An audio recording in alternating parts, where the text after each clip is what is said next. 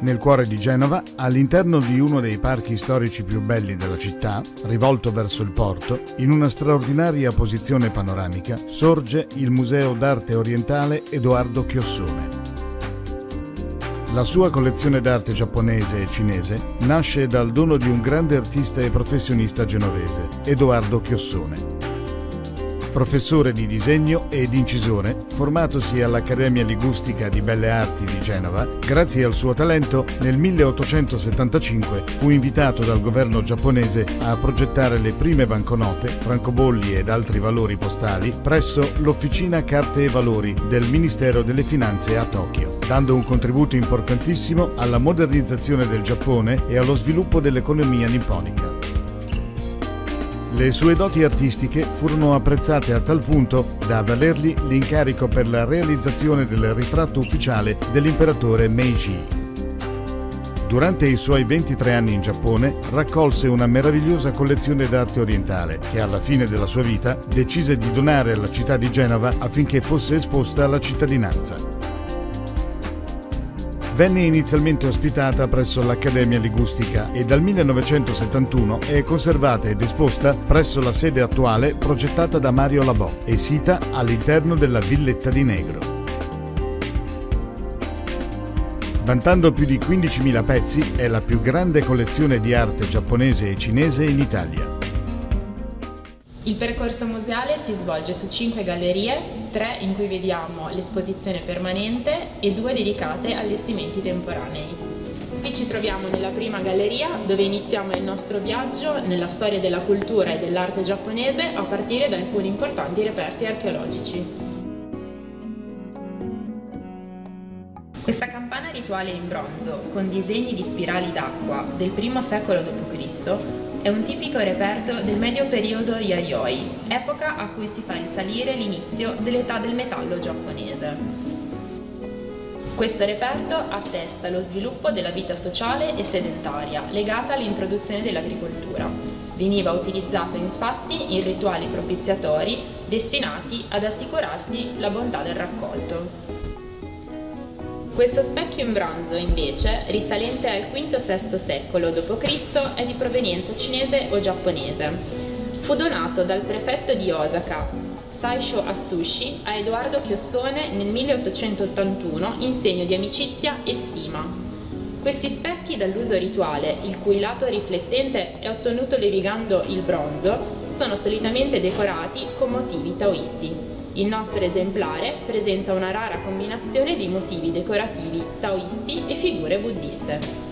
Nelle prossime cinque vetrine vediamo l'evoluzione dell'iconografia buddista dal VII al XIX secolo. Le figure più importanti sono quelle dei Buddha, dei Bodhisattva, dei Re della Luce o Myo, degli Shitenno i guardiani celesti, e i Ten, detti anche Deva, provenienti dalla tradizione induista. Le grandi opere di statuaria buddista sono esposte nel salone a piano terra.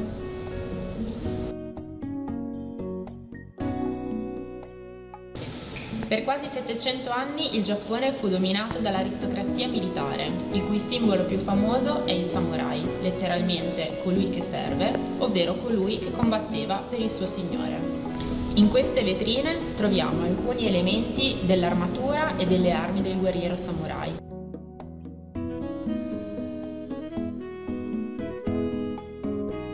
Mentre nella galleria di fronte abbiamo esposte 12 armature complete da samurai, rappresentative delle tipologie utilizzate dal XVI al XIX secolo.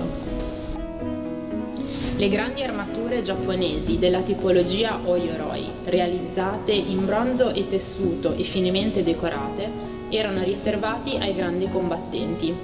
Questi esemplari, mai utilizzati in battaglia, erano principalmente un simbolo del potere indossate durante le parate militari. Nella seconda galleria troviamo due vetrine dedicate alle maschere del teatro No, il dramma tradizionale giapponese, messo in scena attraverso recitazione, danza e musica.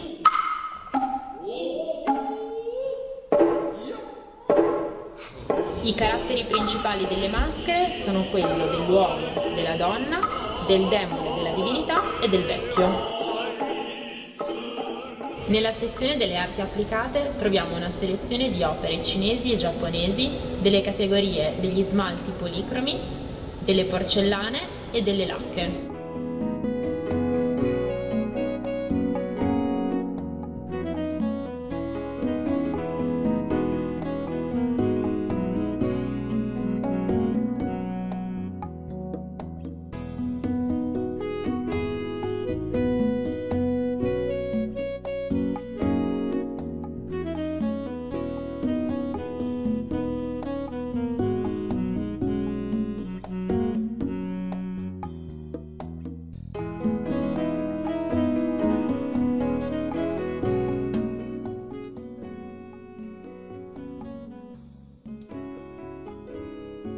La terza e la quarta galleria sono ideate appositamente per esporre all'interno degli allestimenti temporanei le opere della collezione Chiossone che per ragioni conservative e di spazio non possono far parte dell'esposizione permanente. Attualmente infatti troviamo esposta una selezione di opere del famoso artista giapponese Okusai. Si tratta di stampe xilografiche policrome dette ukiyo-e. Tra queste stampe, pubblicate tra 1830 e 1831 nella serie delle 36 vedute del Monte Fuji, troviamo anche il famoso capolavoro La Grande Onda.